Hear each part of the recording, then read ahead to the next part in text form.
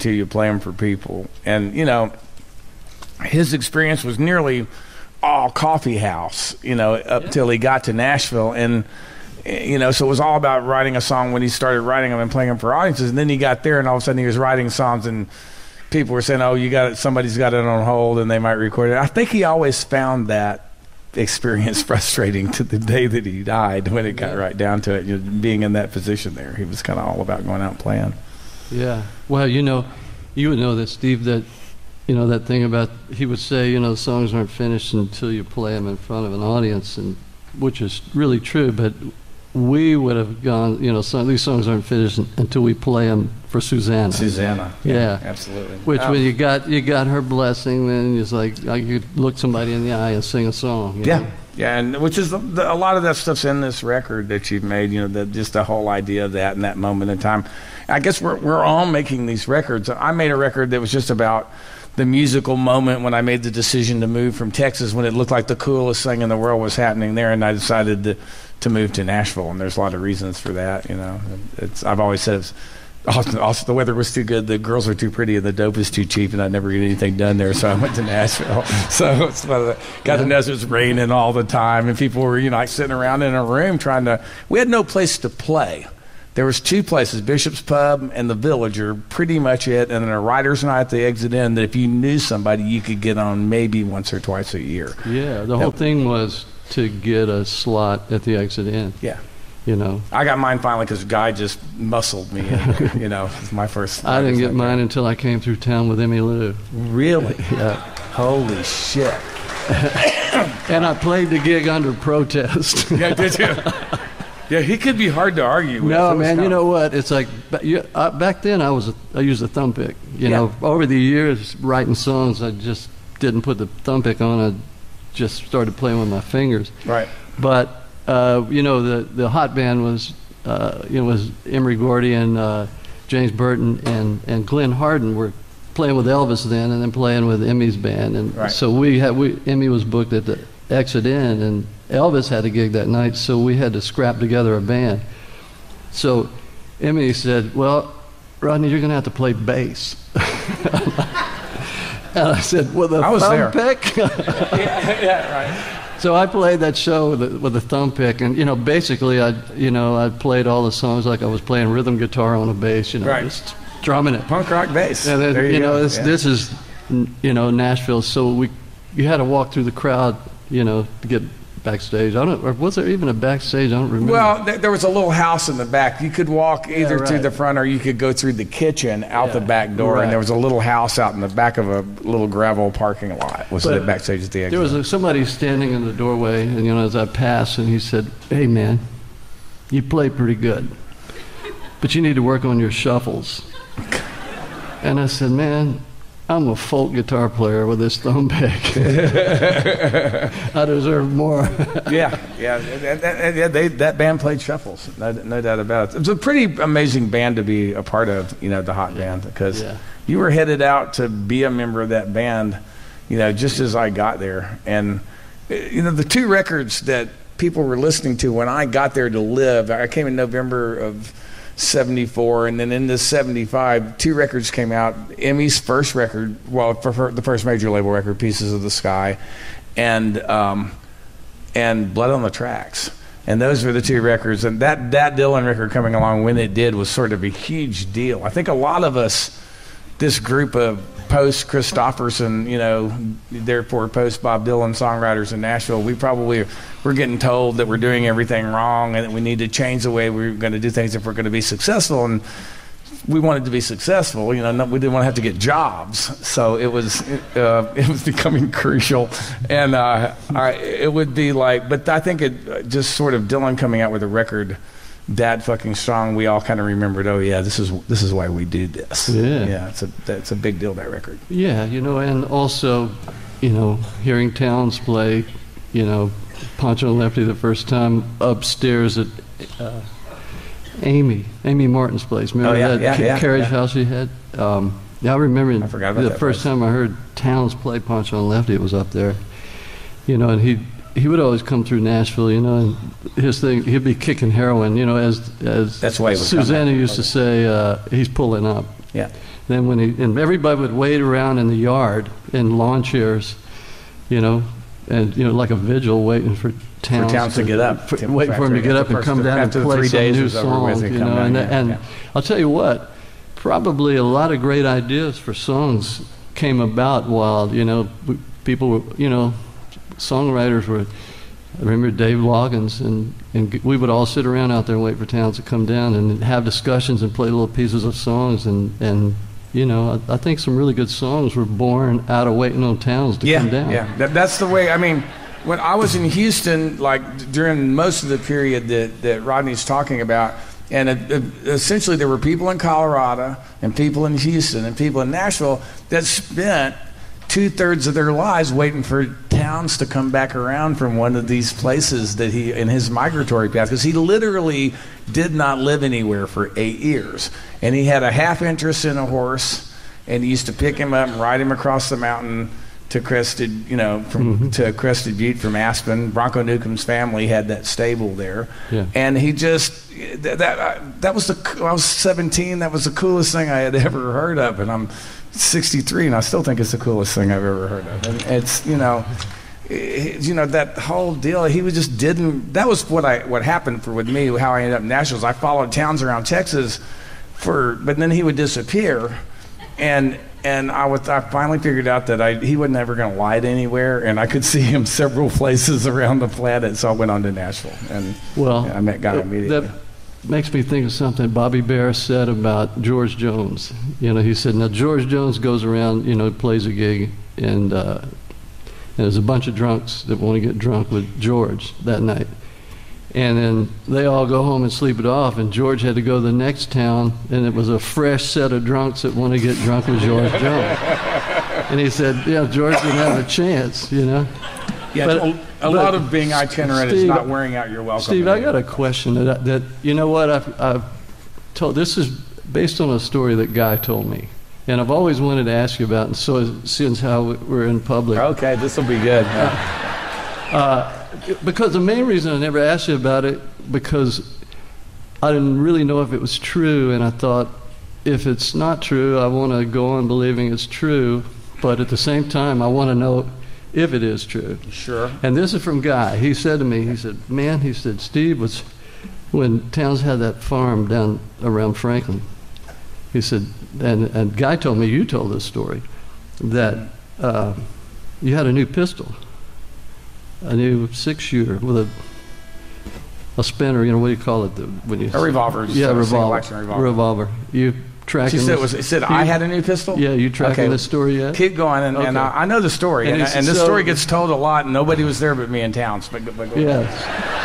Ahead. It's like, And this is this is so well. You get the final say, but this is how it was told to me. You had a new pistol, and you were showing it to Townes, and you kept saying, "Man, man, this, isn't that a fine pistol?" This is, and Townes said to you, according to Guy, uh, "See, what do you know about pistols?" Whatever you told him that you knew about pistols, and he said, "I'll show you what I know about pistols." He opened up the revolver, took out five bullets, put one back in, spun it, and clicked it. yeah. And he said, he said, you know what else I knew about pistols? Spun it again, clicked again. Here it is, man. Is that a true story? Um, what's not true about it is it was Townes's pistol, and um, okay, that's just for starters, and that's just what Guy Townes had, and, and Guy probably knew this at one point, but it's really easy he could have forgotten it. Townes had a 357 Magnum Ruger revol- single action revolver. He had had he had it when I met him in 1972. Um, he ca- he used to carry it with him when he rode across. He had he was a, being a cowboy. He had to have a six shooter, and I don't know where he got it, but he had that. And he also had a, mu- a muzzle loading rifle that he had built from a kit. Now he'd given that to me, and I owned it by the time the story that you're talking about happens. When Townes got you know, lost his horse and, and quit going to Crested Butte. And he got banned from Crested Butte. And he settled in Clarksville, and, and which is this ritzy neighborhood in Austin now, and it was a ghetto then. And and he was there for a while, and that's where you see him if you've seen Heartworn Highways when he gives the guided tour of the little strip of trailers that he lived in, and he. Um, then finally he came on to Nashville and he needed a place to live. I had a cabin that I rented for about 50 bucks a month and I was had gone through a divorce and was with the craziest girl in Tennessee and we got married in the, the Metro Airport bar and took off to Mexico and gave Townes a trailer. And um, Of course you did. so Townes, I retained driveway rights and to the trailer. So when I'd come back to, I'd commute from San Miguel Allende to Nashville to pitch songs, which was a long commute, but it made sense in my life at the time. And I'd come back and I'd park in the driveway and I'd hang out. Now I'd become a little bit of a gun nut, and I, you know, I didn't have any money, but I bought a few guns here and there, and I had, I had maybe a bolt action rifle and a lever. Townes had a lever action rifle, that pistol, and I had his old muzzle loader. But he had a he had a he had a, a Marlin, you know. Uh, Yeah, but Marlon did Rock- he click? yes, he did. But but the way it came down is is it's been told as him giving me a lecture about guns. I just written The Devil's Right Hand, and that's what freaked him out. Is I had a song about guns, so he thought maybe I was going over the edge. But he, uh, I'm always telling people that people say that's a gun control song, but when I wrote it, I had a whole trailer full of fucking guns. But um, he walked in with his gun, and whether it was meant to be a parable or not, I don't know. But I was in the trailer, I was in his cabin. He walks in, and he gets the pistol out, and he lays it down for a second. I said, "Oh, you still got that Ruger?" And he said, "He goes, yeah." And he goes, "Yeah." I said, "Can I see it?" And he said, "Sure." And so I looked at, it, I said, "I said, well, fuck, it's loaded." And I unloaded it, and um, he goes, "Put the shells back in it, man." Put them back in. And I, you know, I started to reload the gun, and it was against my I, my better judgment. and I, I start handing it back to him, and he takes it, and he just shucks all of the shells out of it at one time, just chut chut chut chut chut cowboy thing. Did it pretty well. It was pretty good because the, the cylinder doesn't come out. You have to do them one at a time. And then he picked one up.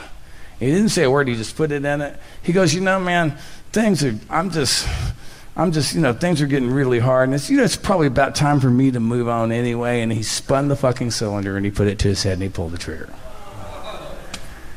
And I was like, okay, what do I do now? And I'm, Yeah. he's closer to me than you, but not quite close enough for me. And I'm just trying to figure out whether Are I you thinking you're next? I'm, no, I'm thinking I'm thinking that I'm going to get charged with it if I try to get the gun and it goes off. That's what I'm thinking.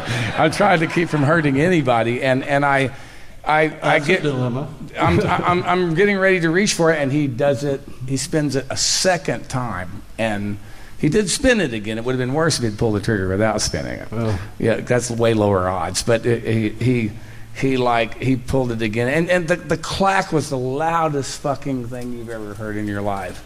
And then he sort of dropped it down and started to run his mouth about something again. And I got him by the wrist, and I took the gun away from him, and I unloaded it, and I kicked his ass. And then, and then, All right. then Cindy came home, and I'd gone back down to my trailer, and Cindy came home and kicked my ass because I kicked Townsend's ass. She kept his throat. let him live? She was like, she just, she would, Townes lied to her, told her that I was up there playing with the gun, and didn't, she left out the whole Russian roulette thing. Just said I kicked his ass, and that's left out the other part of it. Thank you for telling me that story. So it's essentially true, but it wasn't my gun. Whoa. Okay. Cool. So now this is your radio show. Um, do you have another one in you? Before something else you want to play before? Yeah, yeah, yeah. Well, you know, we talk about Suzanne. I wrote this song when Susanna died. I was, you know, Susanna, wa- her agoraphobia just, you know, went warp speed on steroids after Townes died. Literally, you could go back to that night we were on the Austin city limits. Right. From that point on, she was done, and I'd go visit her, and you know, I would I would sit my chair up out in the outer room there from her bedroom. She'd lie in her bed, and I said, I would sit there where I could see her, and I say, if you want to talk to me, you're going to have to get out of that bed and come in here and sit down and talk to me. And she'd give me that look like, I'll wear you down, buddy. And, and sure enough, I'd wind up dragging the chair in there and sitting and talking to her. Yeah. But I loved her, and I was really angry when she passed away. I was angry at you know that she quit, and uh, so I want you know I knew I would write a song and and I about her or for her because of it, and I thought about you know, some pretty picture, but that wasn't the truth about how I loved her and how I felt. So I wrote this.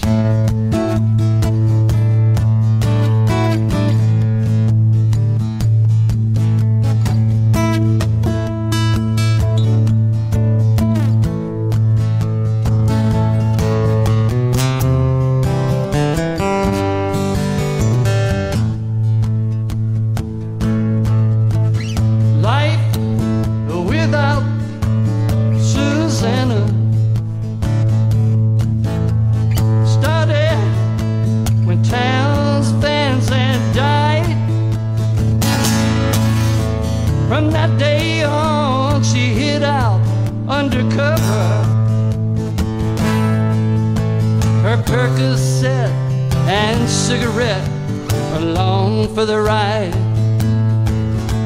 She made the bed inside her head a shelter. Each new day a sliver through the blinds. I tried tough love, tenderness, and anger. But nothing pierced the fortress inside her mind. The first time I saw her, she threw me that smile. Your angel of mercy, East Texas style. A poet in gingham, an assassin in jeans. The most near perfect woman I'd ever seen. She was hardly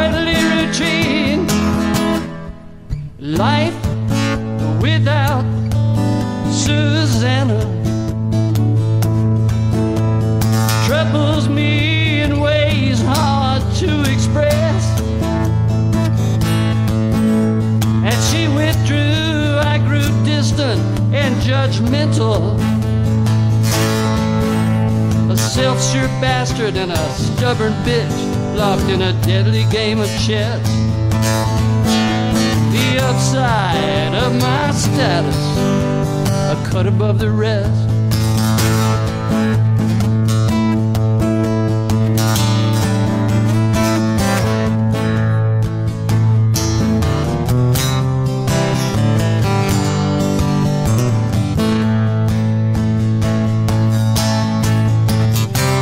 Last time I saw her was close to the end. I cried like a baby for the shape she was in. No lipstick or powder to soften the tone.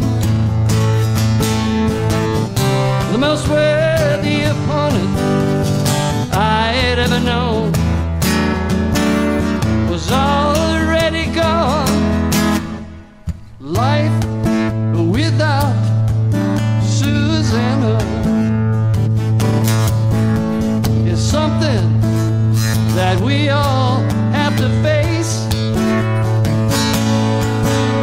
So welcome to the world that we don't know it.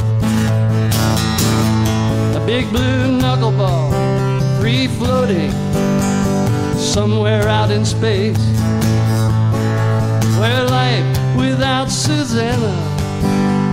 No man's saving grace. This is life without Susanna, and I can't find my place.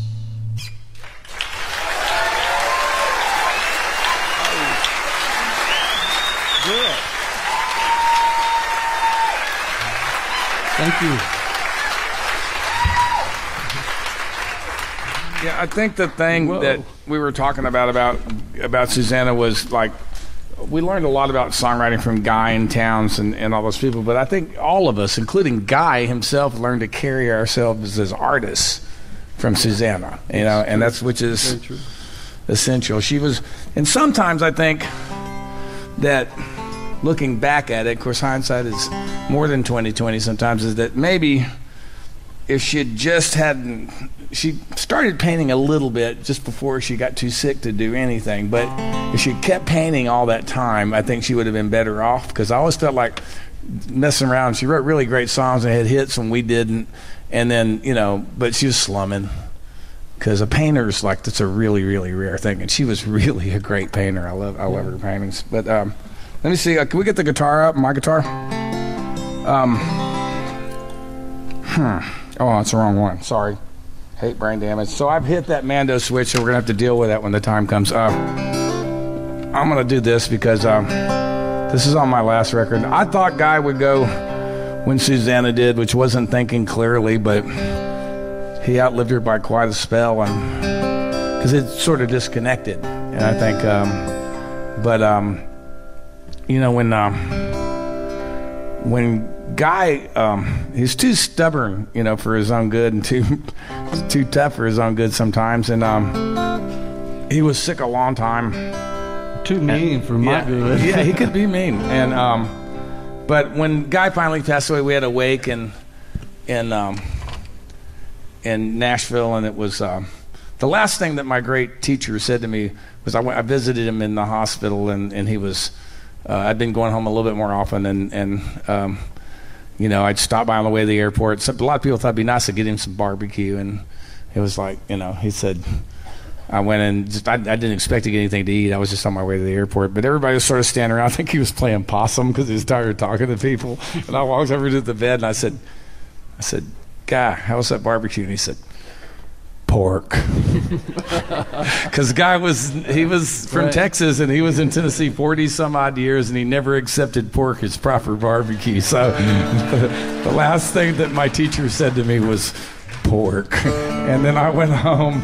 And a few nights later, uh, I got a call from Rodney. And he said he didn't think he was going to get through the night. And then the next morning, I got a text that just said gone. And went back to Tennessee and we had to wake, and a, there were 50 or 60 people there, and all these kids had been writing songs with that I'd never met, and it kept him writing. We have some songs that we wouldn't have otherwise, and and I learned something from that, and I've been going there and writing with some of these guys since then. Uh, and then uh, when it was all, over, we cried and we sang some songs, and when it was over with me, Rod, and Shawn Camp, guy's Berlin. girlfriend, Don, yeah, Verlon Thompson, McGuire, uh, and Jim McGuire, and uh, Tamara Saviano and we got on a tour bus and we took guys' ashes to Santa Fe, New Mexico. And we got there the next evening at sunset, most beautiful land-based sunset I've ever seen. I give Guy full credit for it. And then Lyle Lovett flew in, and Robert Earl Keen, and uh, Joe Ely, em- Emmylou Harris, Jack Ingram.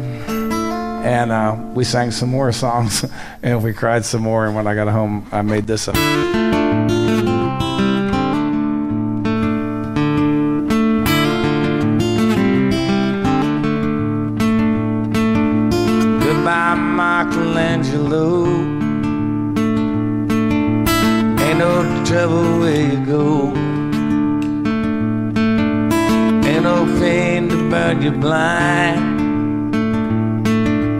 Just enough to draw a line.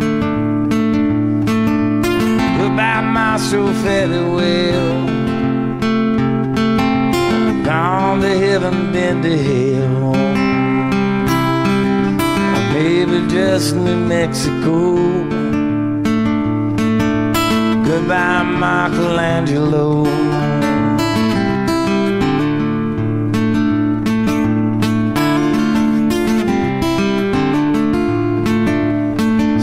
My captain, adios. Sail upon the sea of ghosts. chase the white whale to the end. Bring the story back again. I'm bound to follow you someday. You have always shown the way. We had to go. Goodbye, Michelangelo.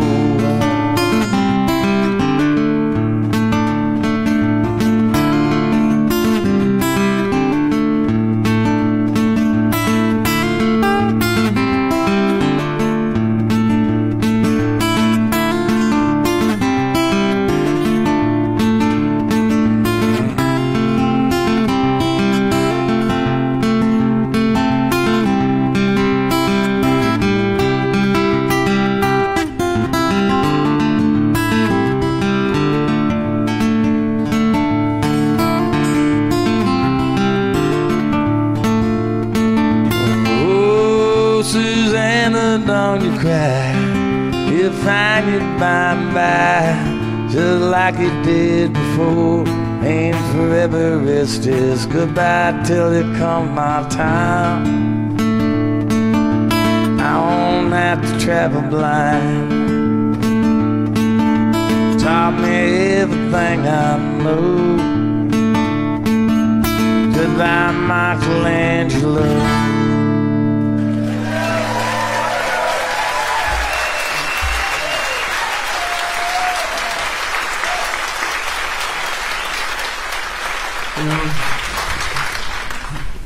Pretty song. Good song. You know what? We should, uh, uh, for your audience, we should talk a little about. Yeah, we saw the Beatles. Yeah, The same same show. Yeah, we have all these sort of parallels that we discovered. You know, we, you know, I, I'd been to Houston before I got here. We have totally different experiences of Telephone Road, and both have songs about it. And uh, but they're both real, just happened at different points in time. Um, but we discovered.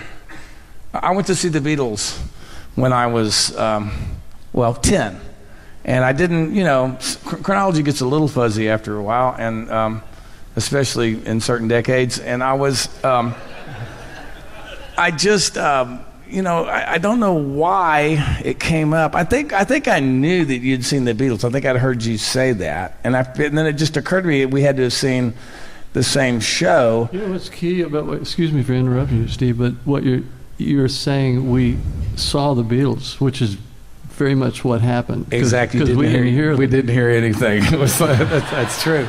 It's absolutely. We knew. We knew what those records. We knew those records, like like they were part of us by yeah. the time we saw yeah, that. We knew those records like the back of our hand. And it, I always say that, yeah, we saw, I say we because we're telling the story, but, you know, yeah, I saw the Beatles, uh, and I couldn't hear a, note or a word they sang, but I knew, uh, but I heard every song anyway. Right, right. Yeah, which was a pretty magical thing. What we discovered is that there were two shows. The Beatles only played Houston. This is when it occurred to me that after being a little bit of a nerd about it for a while and, and reading all this stuff on the internet about Beatles shows, I thought maybe the Beatles had played Houston more than once, but they hadn't. It was only one time. And that's when it occurred to me, and that's why I asked you that day, because I was at the I was at the Houston afternoon show. There were there were always an afternoon and evening show in larger cities that could support the tickets, and it wasn't. Now I was only ten but I wasn't. There were a lot of people my age in 10, 11, 12 in, on the at the at the afternoon show, especially because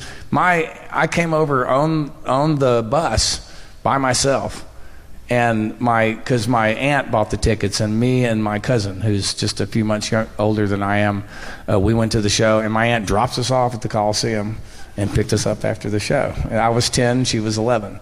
That's a good aunt. Yeah, yeah, she was great. She bought the tickets. I think they were. I think they were four dollars. She understood you. Yeah, yeah, yeah, yeah, She did. She did. She knew it was important, and I should see it. She was the cool aunt. You know, she was. She was yeah. definitely that. But we were. We discovered that Rodney thought he saw him in '64, and I said, no, I think they only played there in '65 because I nerded out, like I said. And uh, we discovered we were not only saw the Beatles, but we were at the same show, and yeah. it was. Uh, like it was like being inside of a jet engine. You didn't really hear any music at all. It was like it was it was, it was pretty. Yeah, uh, my my memory of it, and I think one of the, you know I wanted to. I, I'm pretty sure I was already thinking I wanted to be a musician. I certainly wasn't thinking about I was going to be a songwriter, but something happened that where we were sitting up you know, on the uh, bleacher side along the side, and you could see the audience. You see the stage. We're pretty close, um, and McCartney came out and did this to the crowd right down in front of him, and it, easily 400 girls fainted. Just out. There's no hyperbole in this. This is hand I over my do. heart, flat, over the backs of their chairs, out. and in my little 14 year old pea brain, I said, I want me some of that. That is what it's all about. Where we came from, if you didn't, you know, if you didn't play football, then the guitar was kind of your only hope. It was it. You're it's, only, a, it's a whole different kind of girl, but it was, you know, yeah, so, yeah, you know the yeah, no doubt. the hoodlums would let you pass if they knew you could play guitar. Yeah, it's it's weird. I, uh, where where did were you the did you go around with a guitar everywhere you went, like at a pretty early Eventually. age? Yeah, I did. About before I was even out of, ju- out of junior. I started as a drummer. Oh, that's right. I forgot about that. Yeah, well, I was, a, you know, I was a drummer in my father's, you know, honky tonk band.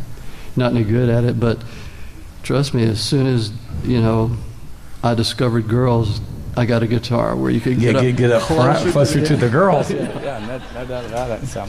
Yeah, I don't know. Uh, Houston's a, a pretty powerful thing. It's like, um, you know, I don't. Um, I try to explain to people if I, um, especially after living in New York for 13 years, if I moved back to Texas, I probably have to live in Houston because it really is the closest thing to a city there, and it's um, it's bizarre. It's a bizarre place. It's like um, it's it was the fastest growing city in the United States at one point.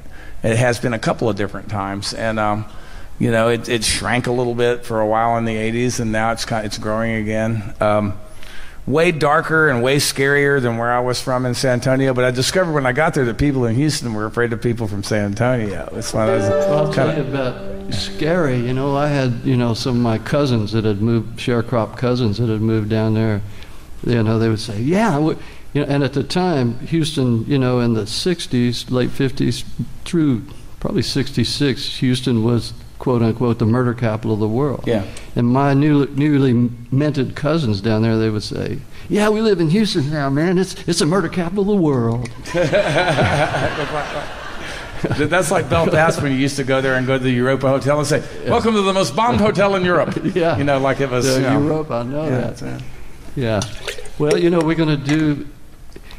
We we had a conversation about earlier about uh, Brown and Root. You know, my my father was came to really went to Texas as, as a, a laborer. You know, sharecrop farm kid with no education, and so he got hired on by Brown and Root. And and at the time, you know, this is probably in the mid 40s. He was probably making 65 cents an hour. But by the, by the time, you know, he kind of moved up to helper, and then, and I remember he was making about a buck. I remember a buck thirty-eight an hour um, as a carpenter's helper, and I remember. When I started as a carpenter's helper, helper in 1972, the first time I did it, it was still only a dollar sixty an hour was minimum wage, and that's what you got. Ah, yeah. so it didn't See? move very much for a long time. Well, time. but there was a big jump from carpenter's helper to carpenter because Oh, yeah. if you were a carpenter, you would bump up to three dollars an hour. Yeah. And it's like for my father, you know, three dollars an hour was finally pulling chin up over the chinning bar. Right. It's like so. So I got the idea, or you know, I don't even think there was an idea for this song. It's just you know, being my father's son, this song just kind of oozed out of me at some particular point back in the probably 1975, I guess, somewhere in there. I remember hearing you and Bee Spears do it, do and and um, Bee had gotten Bee Spears is no longer with us, but he was Willie Nelson's bass player for. He and I kind of grew up, went to different schools together. His high school was the one next to mine, and we knew each other the whole time we were growing up. And worked for Johnny Bush, then Waylon Jennings, and then Willie Nelson. And he was had that gig for a long time, except for one period where he broke out in a bad case of art, and and quit Willie Nelson to go work for Guy Clark and discovered really quickly he couldn't afford to fly to Las Vegas to see his girlfriend anymore, and so he went back to Willie. But but during that period when he was playing for Guy, you guys came into American Studios and you put down a recording of it. I'd kill to know where that recording Me is. too. I'm- it was him playing bass and you playing guitar, and the two of you singing it in harmony. Yeah. And I remembered I it from that. And on and on the Exit Zero tour, um, there's actually a few recordings around me, Harry Stinson, and Bucky Baxter would come down to the front of the stage and do this song together. Brown and Root was the largest construction company in the world at the time that this song that is talking about. It went on to build. Um, um, they were about oil field infrastructure originally and pipelines, but then they. Um, built all of the infrastructure for the Vietnam War. And then later on, they were bought by a company called Halliburton, and they're still kind of doing that.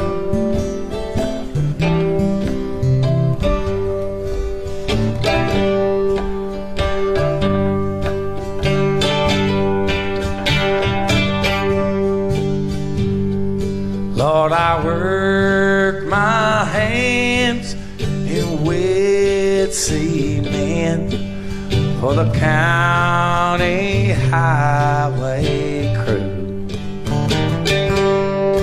I'm the middle boy from a family of ten, and poor sons of bitches we. Pa was mean when he drank, and he always he never said two words to me.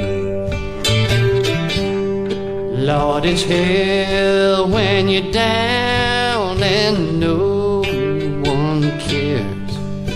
It all looks like uphill down there. Cause you work and you slime and you smell like dirt.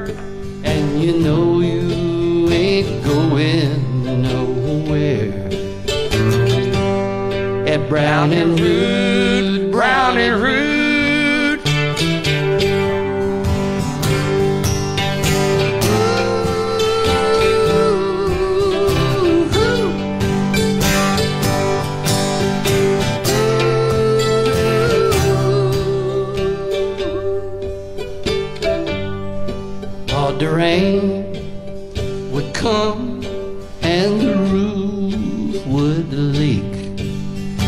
gas company would cut off the heat.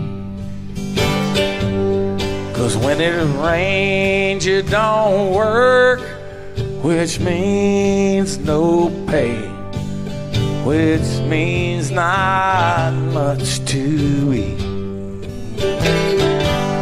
There's There's just too many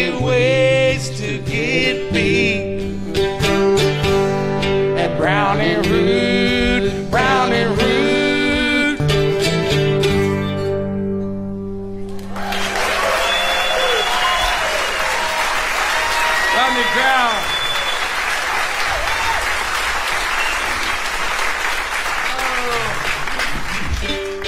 Room for one more? Can we go Sure, out on a song? absolutely. Take it out of here. I want. I, I think there's a there's a fella here that asked me uh, on the, the deck if I would play this song, and you're in it, Steve. I don't know if you heard this song, but you're in it. I think I have. And there's- you know, we've been talking a lot about Nashville, early '70s. I had a dog named Banjo and a girl named Muffin. I just blew in from Texas. I didn't know nothing. I found my way around this town with a friend I'd made named Guy, who loved Susanna, and so did I. There's this rundown shack on Acklen Avenue that I shared with Skinny Dennis and a poet named Richard Dobson who had a novel he would never finish. That's when Johnny Rodriguez and David Olney and Steve Earle first came through. And every other guitar bum whose name I never knew.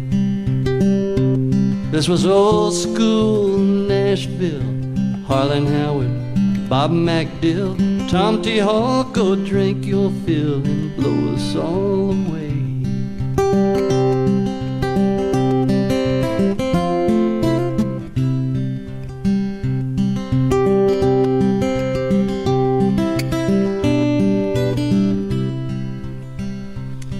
Was this tightrope walker who called herself the Queen of Poughkeepsie, who'd run away from the circus with this aroused about redneck gypsy. Now there were Townes, Van Zandt fans, and they were prone to combustion. Uh, they fought like dogs in Spanish and made love in Russian. Well, I wish Newbury and Buck White could stop on by the house tonight. Things have changed around here, you bet, but it don't seem no better yet. Well, I first met Willie Nelson with some friends at a party. I was 22 years old and he must have been pushing 40.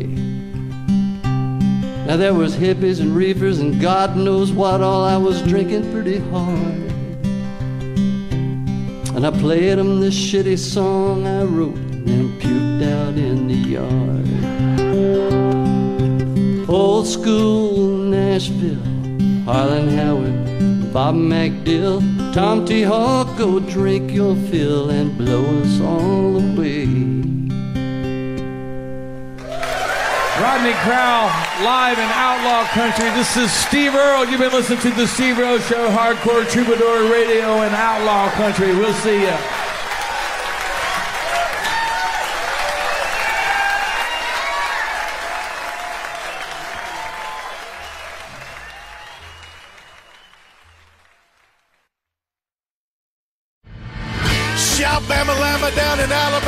Mojo Nixon here. Hey y'all, Elizabeth Cook. Oh my god, I just found my favorite lip balm. I'm obsessed.